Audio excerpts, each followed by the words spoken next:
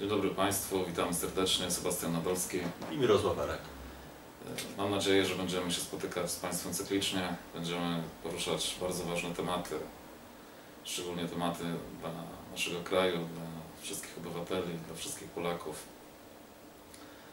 Mirek, przedstaw się kim jesteś, yy, skąd się wziąłeś w ogóle tutaj. Skąd się wziąłem? No to akurat łatwe, łatwe jest, bo urodziłem się. Urodziłem się na, na ziemi, urodziłem się na ziemi radomskiej e, z, matki Polki i ojca Polaka. Czyli jestem rdzennym Polakiem. Ziemia, ziemia polska e, całe życie mnie wychowywała, to znaczy w gruncie rzeczy do 18 roku życia, gdzie następnie e, widząc brak możliwości rozwojowych postanowiłem ruszyć w świat. Tam zacząłem zdobywać wiedzę, coraz większe doświadczenie, zbierając doświadczenie i wiedzę zorientowałem się, że, że jest coś więcej we mnie, co, co spowodowało, że zacząłem się interesować bardzo mocno polityką i na dzień dzisiejszy jestem działaczem politycznym. Tak, tak. y, Właśnie można powiedzieć, że w związku z Twoją działalnością się poznaliśmy. Y, Podoba mi się to, co robisz, bo jesteś widać w tym, w tym co mówisz, co robisz, y, jak działasz, jesteś w tym wszystkim szczery. Y, Nie ma, nie ma za Tobą, obok Ciebie takiej obłudy, jak jest y, wokół wielu innych ludzi, którzy próbują wedrzeć się do, do polityki, działać społecznie na korzyść społeczeństwa, na korzyść Polski, na korzyść, na korzyść narodu polskiego. Jest to wszystko podszyte takim trochę fałszem albo aktorstwem, teatrem. U Ciebie tego nie widać, dlatego dzisiaj tu się spotkaliśmy. Wiesz dlaczego? Bo moim, moim takim przewodnim słowem jest prawda. Prawda, która znajduje się bezpośrednio w nas, y, szlachetność, która również y, przemawia przeze mnie. Ja nie robię tego dla siebie, ja robię to dla nas, a robiąc to dla nas, dla naszej polskiej wspólnoty, to wiem oczywiście, że to, co wypracujemy wspólnie, będzie również jednocześnie im nie służyło. Wiem, rozmawialiśmy sporo wcześniej, przed parę razy, przed nagraniem, przed dzisiejszym nagraniem. Spotkaliśmy się parę razy. Wiem, że działasz też, działałeś przy tak zwanej drugiej RP, tak? Czyli przy panu Potockim. Yy, Nie chcę może, żebyś teraz akurat od razu na początku wypowiadał się na ten temat, bo na pewno do tego będziemy wracać w kolejnych nagraniach. W kolejnych nagraniach ale może powiesz coś, yy, jaki jest Twój program, yy, czy w ogóle jakie, jakie są Twoje plany, czy Twoje jakieś tam yy, ideały dotyczą, dotyczące po prostu tego, jak chciałbyś zmienić nasz kraj, żeby w tym kraju było wreszcie dobrze. Pierwszą pierwszą podstawową sprawą, co jest na dzień dzisiejszy najważniejsze, to jest zaprzestać pomiędzy nami Polakami jakichkolwiek sporów. To jest pierwsza podstawowa sprawa. Programu jako programu y, nie pisałem, ale jest, jest y, przygotowany już w pełni y, nowy system gospodarczy, który będzie w stanie wszystkie, wszystkie osobne, do, osobno pracujące dotychczas komórki ze sobą połączyć w jedno, tak zwane, ja to nazywam ciałem, w jedno ciało, gdzie nie będzie palec sobie sam palcem, tylko stanie się ręką, a cała ręka staje się y, potem y, ciałem. Także to wszystko ze sobą będzie połączone. Y, jest to jak, jak sieć. W sytuacji, w jakiej jest nasz kraj, jak, jaka jest tutaj w ogóle ta cała otoczka polityczna, w ogóle otoczka służb, otoczka międzynarodowa w naszym kraju, która jest nam tutaj znana. Jak to widzisz w ogóle? Czy jest jakaś możliwość, żeby cokolwiek to zmienić przy tej otoczce, która jest? Y, Jak najbardziej. W każdej chwili jesteśmy w stanie wszystko zrobić. Ważnym jest, aby w to po prostu uwierzyć. Ważnym jest, aby uwierzyć w samego siebie. Jak uwierzy człowiek sam w samego siebie, to wtedy zorientuje się, że nie ma ponad nim nikogo więcej. Że nie posiada nad nim nikt władzy, tylko on sam nad sobą sam. Y, W momencie, kiedy ty stajesz się sam sobie panem, osoby takiego pokroju właśnie jak służby wszelkiego rodzaju tracą nad tobą jakąkolwiek y, y, możliwość manipulacji. Ze względu na to, że ty zdajesz sobie z tego sprawę, że ktoś próbuje tobą pokierować, za, zaczynasz zauważać dużo, dużo, dużo więcej, rozumieć dużo więcej, a w takim y, momencie osoby, które starają się tobą manipulować, albo przy tobie zaczynają wariować, czyli denerwują się, albo zaczynają ciebie atakować w jakimkolwiek stopniu, a w, najle w najlepszym wypadku po prostu wstają i wychodzą. A czy myślisz, że w polskich służbach, nazwijmy to w polskich, bo tutaj trzeba brać na to poprawkę oczywiście, no ale w polskich, czy są i czy jest element patriotyczny, czy jest tylko, czy uważasz, że jest jakiś element patriotyczny, który jest w stanie, byłby w stanie zrobić coś dla Polski, dla narodu polskiego, czy jest tylko element służalczy, wykonujący polecenia? No Wiadomo, polecenia tych, którzy nie działają na korzyść narodu polskiego, na korzyść na naszego kraju. Co jest od, tutaj mamy w, w naszym kraju, no przynajmniej od 88 roku taką sytuację. Czy, czy jest ten element patriotyczny w służbach, w wojsku, w, w policji, gdziekolwiek po prostu, yy, czy ty to zauważasz, czy widzisz to? Bardzo dobre pytanie. Y, mia- Byłem, byłem ostatnio organizatorem 21 lipca e, takiej małej demonstracji, no trudno by to było nazwać, nie, takiego, takiego wiecu. Mhm. wiecu pod y, pomnikiem Armii Krajowej i tam miałem okoliczność y, rozmowy z policjantami. Powiem szczerze, no, że jeśli chodzi o policjantów, y, tych Polaków, oczywiście Polaków, policjantów, bo na dzień dzisiejszy pracują również ludzie z innych narodowości, also na- znaczy innych narodowości, o których nie, no, nie mogę się wypowiedzieć, bo nie mam, nie mam tego doświadczenia z nimi. Ale po rozmowach właśnie z tymi Polakami, policjantami, policjantkami również, jestem świadom tego, nawet pewien, że ci ludzie jak najbardziej są patriotami.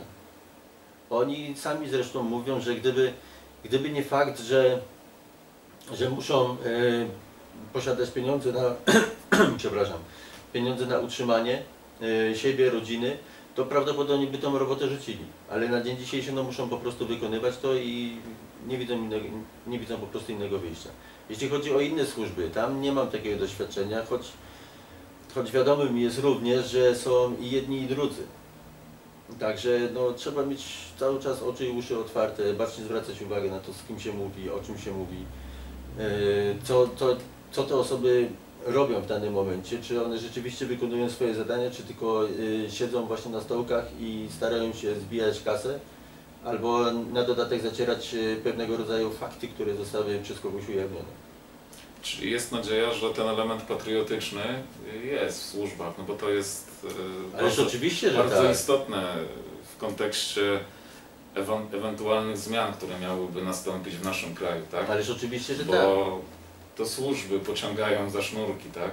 E, Służby, czy to obce, czy to nasze służby pociągają za sznurki rządzących, rządzących w cudzysłowie, bo są to tylko rzecznicy jakichś interesów, tak? Ci Nie, no, posłowie, nazwijmy- senatorowie, nazwijmy to po nasz imieniu. prezydent, nasz to są tylko Marionetki. rzecznicy, marion, Marionetki. rzecznicy, rzecznicy prasowi, tak nazwijmy, rzecznicy prasowi obcych, tak to Wiesz, nazwijmy, stoi, obcych. stoi taki lalkarz, ma, Tak, ma tak, 10 tak. sznureczków i pociąga za nie wszystkie, nie?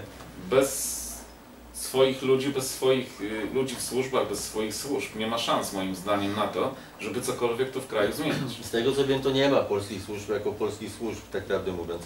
No, Ale, ale są właśnie w ja tych właśnie służbach y, wdrożeni ludzie, którzy pracują dla tych służb i są Polakami i mają naprawdę Polaków, a w gruncie, w gruncie rzeczy cały naród polski naprawdę bardzo blisko swojego serca. I Tak.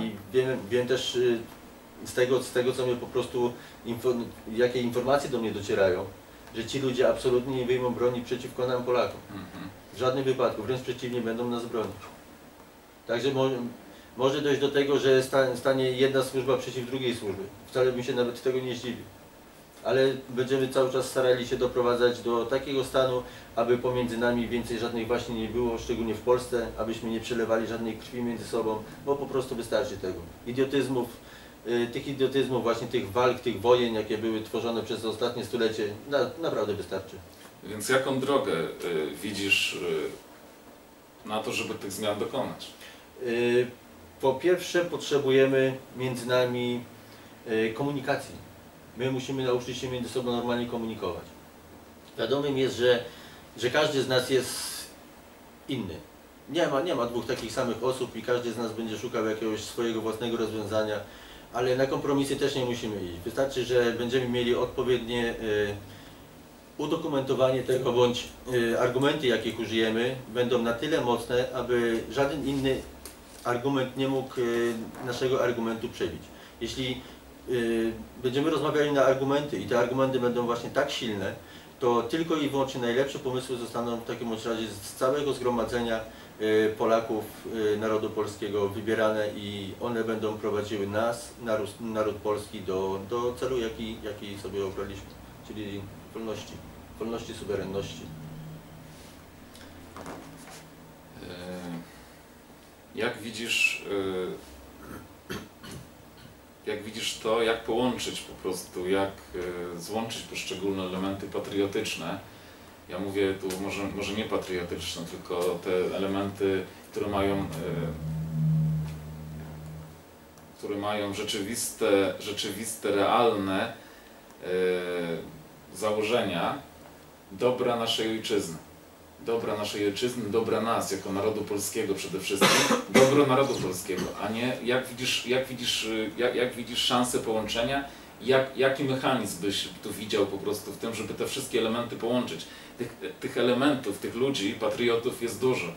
Dzięki właśnie internetowi wiemy, że jest sporo tych ludzi, ale jest też sporo ludzi, którzy po prostu jątrzą, którzy rozbijają to wszystko cały czas. Jak widzisz, żeby połączyć tą dobrą, dobrą część po prostu tych ludzi? A to jak, jak już wspomniałem, to jest, to jest tylko i wyłącznie kwestia naszej komunikacji pomiędzy nami. Mhm.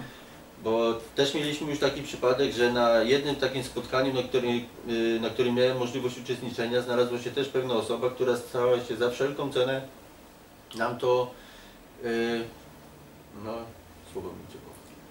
Uniemożliwić. Uniemożliwić. No. Tak. E, niestety nie udało się tej osobie, zdenerwowała się i w końcu wyszła. A my doszliśmy do porozumienia. Pomimo tego, że było pięć, nie, sześć osób, które były całkowicie na początku odmiennego zdania, aczkolwiek cele mamy te same. Mamy jeden, jeden sam cel, który nas cały czas do siebie prowadzi.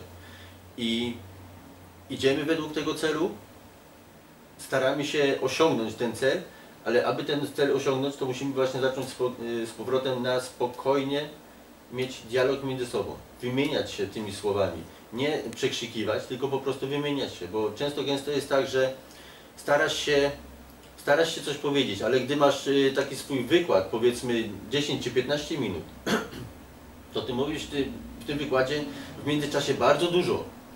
I jeśli ktoś nie zdąży sobie zapyta, y, zapisać pytań, tylko po prostu siedzi i słucha Ciebie bardzo, y, bardzo no,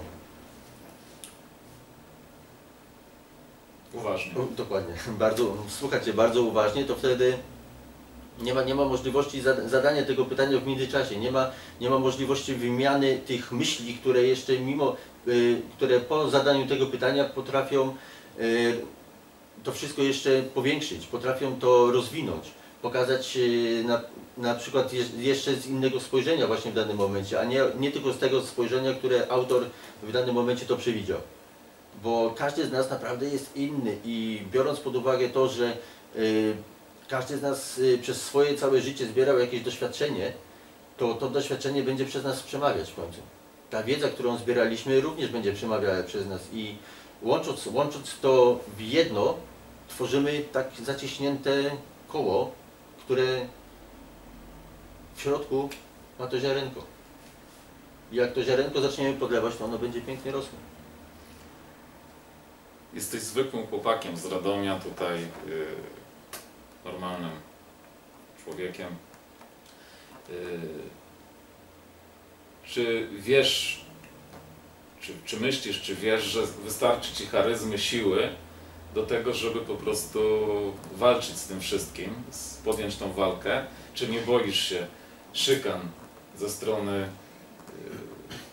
y, zewnętrznej, czy też wewnętrznej? Które niewątpliwie przyjdą, no nie? Bo taka Już jest są. sytuacja. Już, Już są, są. tak, już są. Widzisz, y, bardzo fajne pytanie.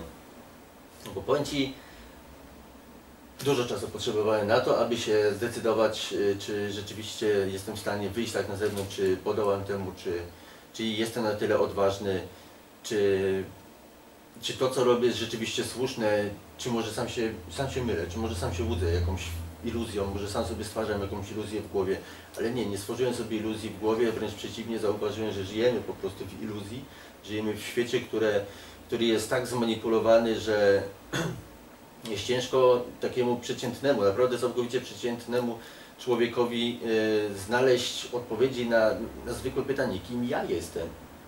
To jest, to jest właśnie pierwsza podstawowa podstawa. Czy, czy się nie boję, czy się nie bałem? Tak jak powiedziałem Ci, tak, bałem się na czym, może nie tyle co bałem się, co miałem pewnego rodzaju obawy, że, że mogę właśnie ewentualnie nie podołać jakimkolwiek szy, szykanowaniom, czy próbowaniom y, z, moim, z moim imieniem zrobienia no, najgorszego dziadostwa, jakie tylko człowiek może poprzez media zrobić, tak, zniszczenia definitywnego, ale zastanowiłem się nad tym, podjąłem decyzję, E, Podejmowałem ją długo, bo około 5 lat, tak prawdę mówiąc, szczerze. Ale dzisiaj jestem tutaj. Mam dużo do powiedzenia, chcę się tym podzielić. Nie zamierzam się chować gdzieś za jakieś ścianki i tak dalej. Robię to nawet pod swoim nazwiskiem, żeby nie było, że jestem aktorem. Nie, po prostu zauważyłem, że jeśli my Polacy, e, w szczególności my Polacy, wiedząc to, że jesteśmy tutaj na tej ziemi gospodarzem, nic nie zrobimy. To będą obcy, to znaczy tak zwani goście, u nas w domu rządzili się tak, jak nam się to nie podoba. A to my, gospodarze, powinniśmy tutaj gospodarzyć, zwracać uwagę bacznie na to, co goście robią. I jeśli robią coś źle, czyli nie, nie tak, jak w naszej kulturze to być powinno, zwrócić im uwagę, ewentualnie wyprosić. Tak, właśnie nawiązując do tego, co mówisz, w naszym kraju, w naszej ojczyźnie, panoszą się goście. E, panoszą się w naszym domu goście, którzy wygnali z tego domu naszych współbraci za granicę. Około 15 milionów ludzi musiało wyjechać. Niespotykana do tej pory sytuacja. Od 90 roku wyjechało około 15 milionów Polaków. Powiem szczerze, tak, na roboty, tak, na roboty kiedyś w czasie II wojny musieli kogoś złapać, wsadzić w pociąg i wywieźć, tak, do Niemiec. Mm. Teraz udało mi się, bo pracowałeś lepiej, w Niemczech, tak? Tam Polacy z całym szacunkiem dla tych wszystkich ludzi, którzy wyjechali, żebyście Państwo tego tak nie odebrali. No niestety, ja nazwa, nazywam to po imieniu. Jeżdżą podcierać tyłki yy, Niemcom, Niemkom i innym nacjom, co jest w jakiś sposób upokorzeniem. To jest pierwsze upokorzenie, że, na, że wygnali 15 milionów ludzi po prostu na roboty do Niemiec, bo gdyby ci ludzie byli w, tutaj w naszej ojczyźnie, to byliby ludźmi bezrobotnymi. Tu dochodziłoby do aktów przemocy, żeby ludzie bili się o to, żeby o kromkę chleba. Tak, Widzisz. tak, tak, tak dosłownie. Dobrze, do, dobry temat też słyszyłeś teraz, bo gdyby te 15 milionów tutaj na dzień dzisiejszy zostało, to już cały ten rząd, który jest w chwili To już obecnej, go to już by go dawno nie było. Tak, ja miałem, miałem to właśnie dalej powiedzieć, że wygnali tych ludzi specjalnie, bo to, mimo tego, że ja powiedziałem, że do podcierania tyłku, tyłków, ale wyjechała najlepsza tkanka tego narodu, ta młoda właśnie i najbardziej zaradna. No ci odważniejsi, tak Ci powiedzmy. odważniejsi, bo no tak, najbardziej zaradni wyjechali i ci, co nie mieli tutaj, nie byli w układzie, po prostu nie byli po prostu No, wśród nic ich nie trzymało. nic no, ich nie gdyby- trzymało, czyli, Gdyby, czyli gdyby mieli Tak, układ, słuchaj, tak, tak. jeśli ktoś ma tutaj układ, to zostaje. E, No ja ostatnio rozmawiałem z panem Rafałem Orłowskim, e, ostatnio, wczoraj na, na dodatek, prawie dwie godziny przez telefon. W kto międzyczasie to jest pan Rafał Orłowski? pan Rafał Orłowski jest to taki e, mm, śledczy, pan śledczy, y, jak ci to powiedzieć, też robi to w czynie społecznym. Pracuje, pracuje sam dla siebie, y, nie, nie bierze za to żadnych pieniędzy, poświęca cały swój wolny czas na to, aby wszystkie ugrupowania, wszystkich, znaczy się wszystkie osoby, wszystkie grupy rządzące, wszystkie y, powiązania ujawniać. Jest to dziennikarz śledczy, o widzisz, dokładnie tak, No dziennikarz śledczy. z nim i Rozmawiałem z nim i bo właśnie tak a propos drugiej RP y, chodziło mi o powiązania pana, pana Potockiego z panem Paziem, y, Żydem no, oczywiście z pochodzenia, pan Aaron Paz, Paz, który wielokrotnie zmieniał nazwiska. I tak po tej niteczce od pana Paza, czy tam Pazia, doszliśmy do fundacji y, Rothschildów i fundacji Batorego.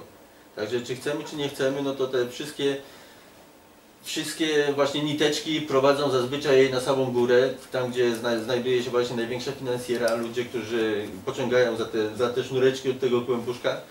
O tym wszystkim będziemy oczywiście I to, rozmawiać i to, i to się tak, i to się tak po prostu kręci. No. szczegółowo, tak? Będziesz, tak będziesz o tym opowiadał, masz sporą wiedzę, e, taką wiedzę dość ugruntowaną i ciekawą. E, Będziemy się spotykać, proszę Państwa, cyklicznie, będziemy puszczać e, na internecie, na YouTube, na, na Facebooku, na innych komunikatorach e, te nagrania. Po co? Po to, żeby Polacy się budzili, bo jest kilku dobrych dziennikarzy po prostu z tej alternatywnej strony po prostu mediów,